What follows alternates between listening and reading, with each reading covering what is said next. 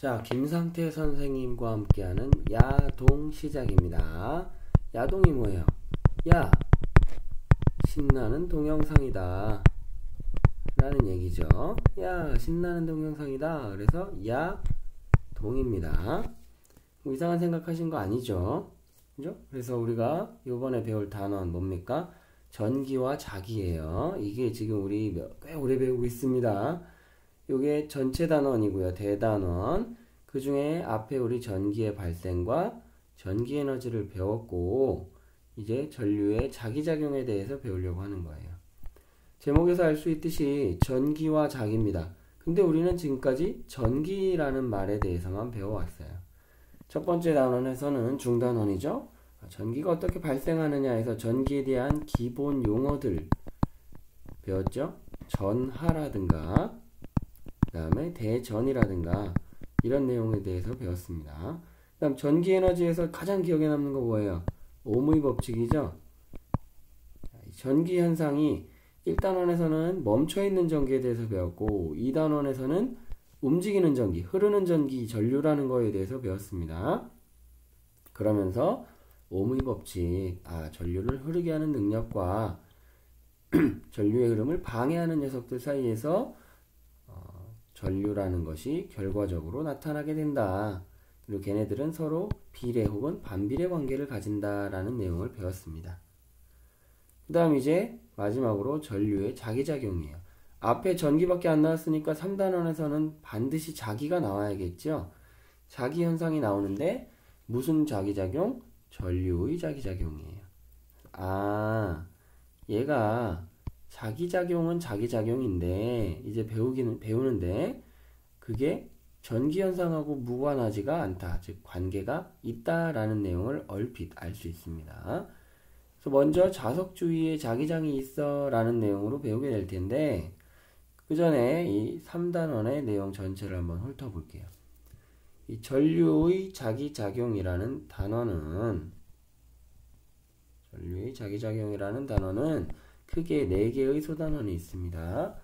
자석 주위에 자기장이 있어. 아, 여기 용어들이 나오죠? 자석이 뭔지 알아야겠구나.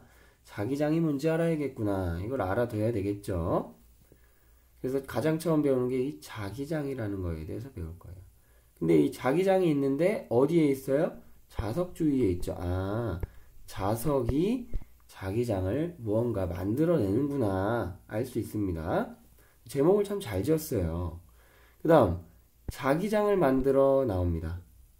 자기장을 만드는데 앞에 봤듯이 자석이 자기장을 만드는데 그거 말고 뭐가 또 전류가 자기장을 만들기도 하는구나. 그게 이 두 번째 소단원에서 배울 내용이에요. 그 다음 세 번째 단원에서 뭐예요? 자 보면 자석이 자기장이라는 걸 만들어. 근데 자석뿐만 아니라 뭐도 만들어? 전류도 자기장이라는 걸 만들어. 그런데 자기장은 무슨 일을 하냐? 어? 에고 어디 갔어? 무슨 일을 하냐? 힘을 만들어낸다는 거예요. 자기장이 있으면 그 안에서 힘을 받는다. 근데 누가 받느냐가 살짝 빠져 있죠. 전류가 받습니다. 전류가. 자기장 속에서 전류가 힘을 받는다. 복잡할까봐 제목에서는 뺀 것 같아요. 그러면 자석과 전류가 자기장을 만들고 자기장은 뭔가 힘이 나타나게 한다라는 내용이죠.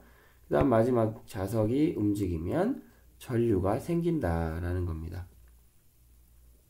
자석이 자기장을 만들고 힘을 만든다. 전류가 자기장을 만든다. 근데 이게 전류만 자기장에 영향을 주는 게 아니라 자기장도 뭔가 전류를 만들어내는 역할을 한다라는 내용이죠. 그죠? 제목만 봐도 꽤 많은 내용을 알 수 있습니다. 우리가 제목에서 딱 알 수 있는 건 뭐야? 자석과 전류는 자석과 전류는 자기장을 만들고 자기장이 있으면 뭔가 힘이라는 게 만들어진다. 라는 걸 알아냈고 전류하고 자기장은 일방적인 게 아니라 자기장도 뭔가 전류라는 걸 만들어낼 수 있다.